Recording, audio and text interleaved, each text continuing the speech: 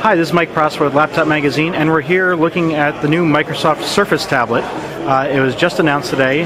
Uh, the one here is uh, Windows RT version, and it's 1.5 pounds and 0.4 inches thick, uh, which puts it on a par with most other tablets these days. The display uh, is 10.6 inch clear type HD. It's uh, covered by Gorilla Glass. On the sides, there's USB 2.0 and a micro SD slot. Uh, this tablet will come in 32 and 64 gigabyte sizes. The whole tablet is made of magnesium, uh, which in our brief hands-on time uh, felt very sturdy. And as you can sort of see here, there's a little kickstand that pops out in the back, which makes it convenient for typing.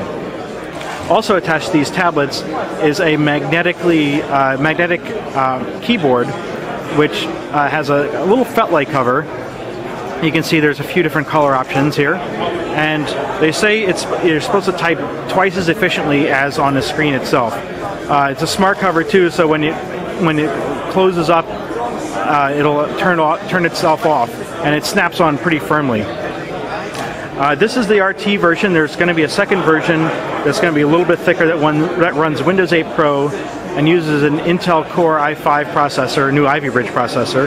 That, that model will be about half an inch thick and weigh about two pounds. Uh, and it's going to come with a USB 3.0 port and also pen input.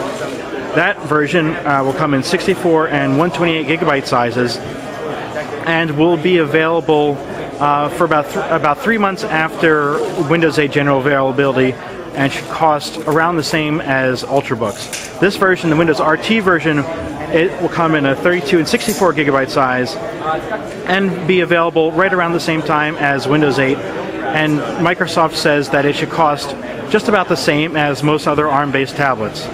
So here's a quick look at um, a few different versions. We hope to get our hands on one of these fairly soon. This is Mike Prospero for Laptop Magazine.